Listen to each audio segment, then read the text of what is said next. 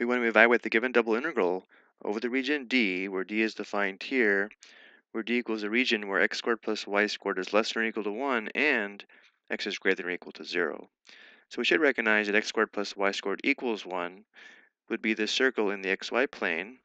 So for this first inequality, x squared plus y squared is less than or equal to 1, we'd have the circle and all the area inside, but notice how x also has to be greater than or equal to 0, which would be just this half circle here. So this is the region of integration, and because the region of integration is a semicircle or half circle, we're going to write the double integral in rectangular form as a double integral in polar form. To do this, remember we need to write f of x comma y as f of r comma theta. To do this, we substitute r cosine theta for x and r sine theta for y, and the differential a is equal to r dr d theta. Before we do this, though, let's look at this graphically. The integrand function f of x comma y is graphed in blue. If we look down on the xy plane, we can see the region of integration would be this semicircle here.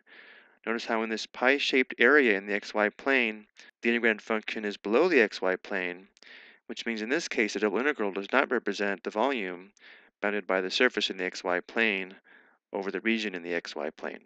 We can still evaluate the double integral, just remember in this case it does not represent volume. So to get started, notice that f of x comma y is equal to 4x plus 3y, which means f of r comma theta is going to be equal to 4 times x equals r cosine theta plus 3 times y, where y is r sine theta. So our double integral in polar form is going to be, again, f of r comma theta times r dr d theta. So we would have 4r cosine theta plus 3r sine theta times r dr d theta. Now let's find the limits of integration for r and theta that would trace out this area in the xy plane. So notice how the radius r would be from 0 to 1. Then to trace out this area, we would have to start here at negative pi over 2 radians, and then rotate counterclockwise to here, which is pi over 2 radians. So limits of integration for theta are from negative pi over 2 to positive pi over 2.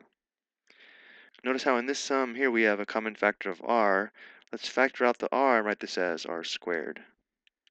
So our integrand function would be 4 cosine theta plus 3 sine theta times r squared dr d theta.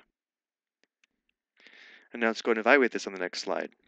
And now we integrate respect to r, treating theta as a constant, so we're going to have this sum times r cubed divided by 3, which we can also write as 1 third r cubed. So we substitute 1 for r, then 0 for r, then find the difference.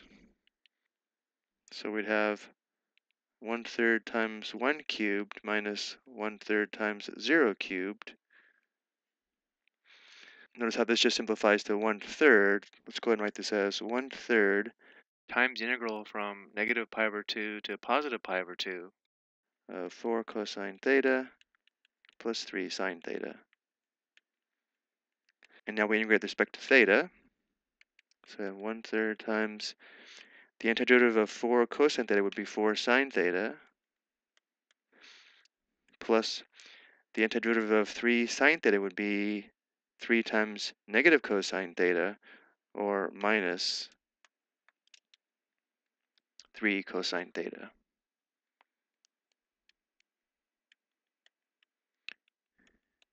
So we have 1 third times, when theta is pi over 2, we have 4 times sine pi over 2 minus 3 cosine pi over 2. So all this is when theta equals pi over 2, and then we have minus, when theta is negative pi over 2, we have 4 times sine negative pi over 2 minus 3 times cosine negative pi over 2. So we end up with 1 third times sine pi over 2 is equal to 1, so we have 4 times 1 minus cosine pi over 2 is equal to 0, so we have 3 times 0 minus 4 sine negative pi over 2 is equal to negative 1, so we have 4 times negative 1 minus 3 times cosine negative pi over 2, again, is equal to 0. So inside the brackets we have 4 minus negative 4, which is 8. 1 third times 8 is equal to 8 thirds.